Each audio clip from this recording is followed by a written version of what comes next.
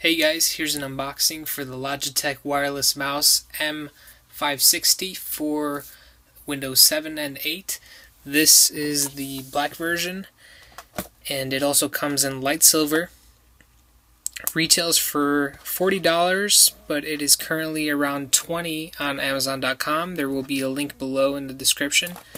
And uh, let's get unboxing.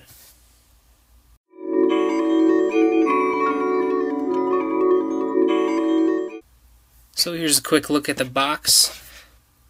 M560 in the top right corner there.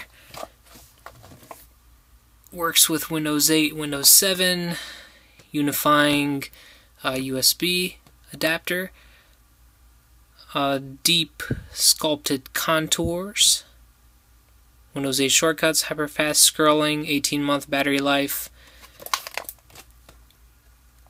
and a few other things on the back. So let's get this guy open. These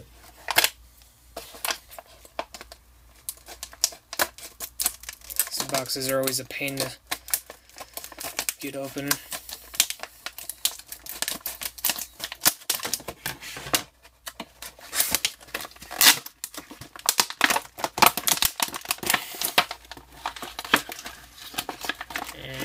Okay. So here's the mouse itself. Here's a little USB adapter. Here's the manual that nobody reads. And is that it? I guess that's it. Maybe the battery. Yeah, I think the battery's inside here. So if you just slide this down, pull this out of here, the battery battery will be activated, and uh, the unifying receiver can go in here, right in there, as such. And then you can close this if you want to take it with you on the road. So, we're going to take this out and activate it real quick. And you see it's automatically on. I'm going to turn it off for a second and we are going to take a look around the mouse. So, first off, uh, two buttons here, left and right. Everybody's used to that. And uh, we also have uh, the Windows Start Screen and Desktop uh, buttons. So if you click these, it'll go, it'll switch from the desktop to the Windows 8 Start Screen. Um, this is the Windows 8 Edge menu shortcut button, and I will uh, go through these buttons on my computer in just a little bit. This is the hyperfast scroll wheel. So right now you'll hear it clicks. And if you push it down, it's free uh, spinning, so to speak. Also, there is this back and forward button implemented into the scroll wheel, and that is a back or forward uh, for web pages or for uh, viewing documents or files and that's pretty much it for the buttons. Um, so let's get this guy hooked up to my computer and I will give you a quick demo.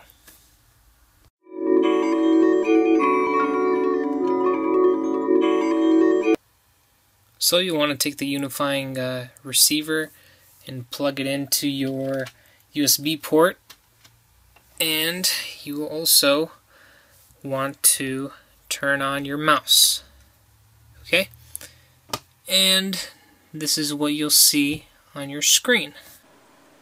So once you plug in your uh, unifying receiver, uh, you may get this pop-up uh, saying that you already have another unifying receiver. In my case, I have a keyboard already.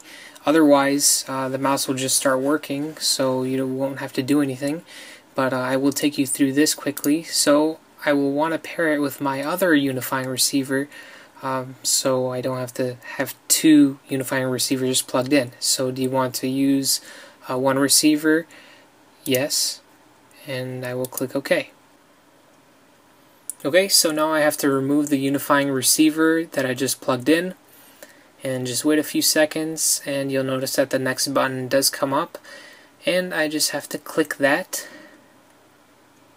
and now I have to toggle the mouse off and then turn it back on and it should pair here in a few seconds and it does. So now it's paired with my previous unifying receiver and I no longer have to plug in the unifying receiver that came with the mouse which is very convenient and saves uh, USB slot spaces. And now I can pair another device or I can finish and I can pair up to six devices per unifying receiver which is very convenient.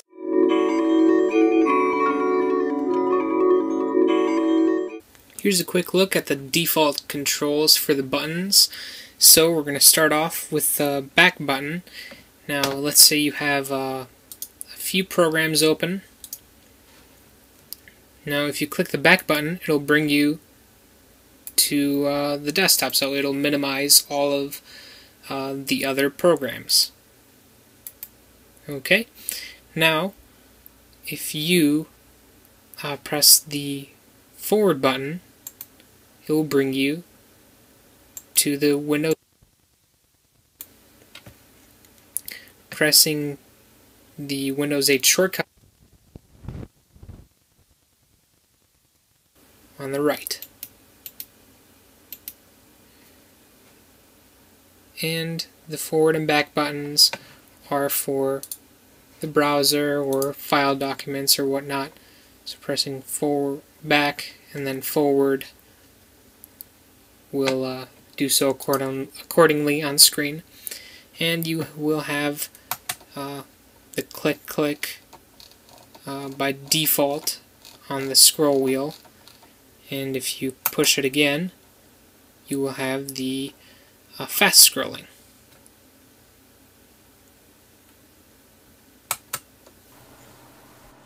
If you'd like to customize your uh, mouse buttons you can go over here to SetPoint settings and you will notice a few different options for each button and you have uh, other options such as pointer settings, scrolling size, game settings, advanced settings, and your battery status for your mouse, as well as the uh, unifying uh, software.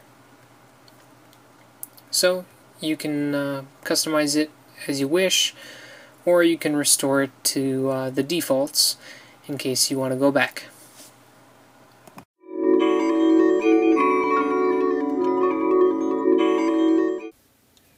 Now to go over a few of the mouse specs. Uh, it has 2.4 gigahertz and it has a laser grade optical sensor, one AA battery for uh, up to 18 months of uh, usage, and a unifying receiver that connects to up to uh, six unifying compatible devices. So here's a quick look around the mouse again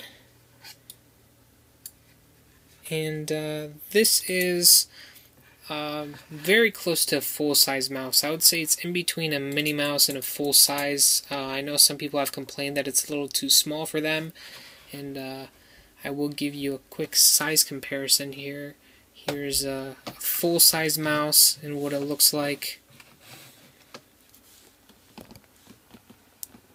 And here is a mini mouse. So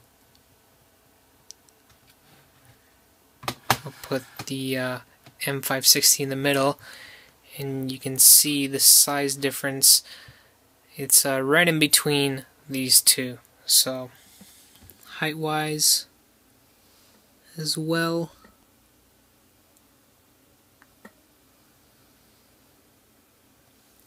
And here's a side view of all three